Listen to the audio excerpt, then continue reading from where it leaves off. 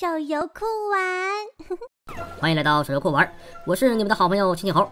今天继续汤姆猫的水上乐园，在这一关又出现了久违的足球关，只不过这一关的时间还是比较多的。掌握技巧之后，这一关将是最简单的足球关呐。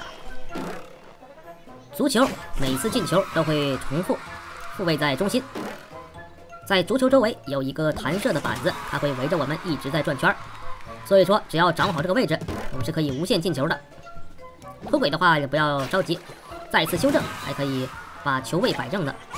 慢慢的给一点劲儿，不要给过头啊！如果给的过多的话，我们的人物将会踢不到球。现在还剩一分三十秒，已经进了一半的球了。这一关如果增加到十五个球，将会有更大的挑战呢。再给一点劲儿，或者是等这个东西过去之后，攻击斜的位置。如果这个球是稍微在下方，我们需要攻击球的下半部分，有点类似于打台球的这个斜撞位啊。没有进球，有的时候只剩下一两个球，很可能会让你费事打到半分钟。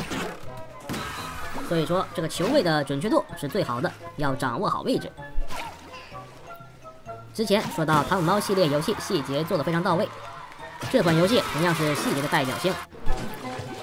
水上乐园有很多种关卡，像普通的消除关，然后像足球关，还有一些系列的变换关，多种多样，让我们玩起来比较不陌生，有一些新鲜感在里边，并不只是单独的只是消除而已啊，会有一些其他的玩法在不同关卡中不同出现。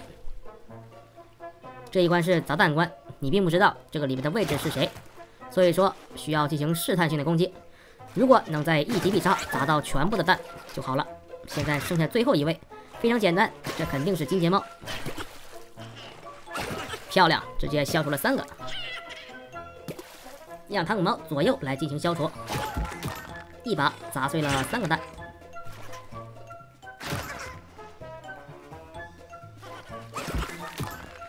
现在只剩下这边的蛋了，看来这个蛋里肯定不是汤姆猫，因为汤姆猫直接消掉了，我猜可能是金钱猫啊，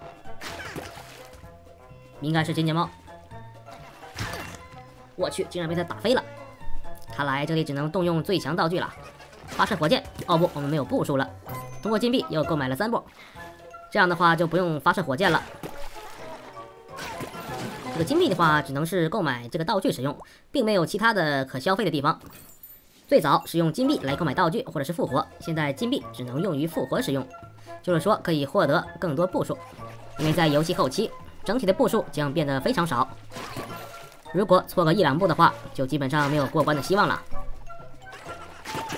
这里被分裂出来了，这个人物被分裂出来之后是大头冲下的，你可以仔细观察一下。汤姆猫刚才是脚冲上，脑袋在水里边，也是比较滑稽啊。